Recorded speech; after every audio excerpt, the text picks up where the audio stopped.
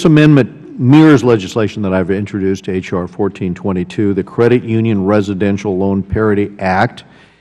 And uh, what, I, what I'm doing here is drawing attention to the need for credit union regulatory relief, and hopefully, I'm not belaboring the point, but um, if I could just point out again, the Credit Union Residential, Loan Parity Act makes a small but very significant change to the MBL cap calculation for credit unions, and that change alone would unleash 11 billion in capital for small businesses, and it would do that, of course, without costing the taxpayers a dime.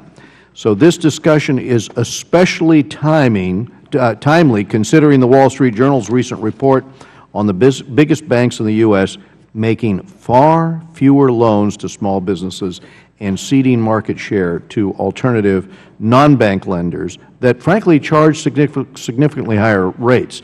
So if we allow the credit unions to make some of these loans to the small businesses, obviously it's a win-win here. So without objection, I'd, I'd like to enter that report into the record.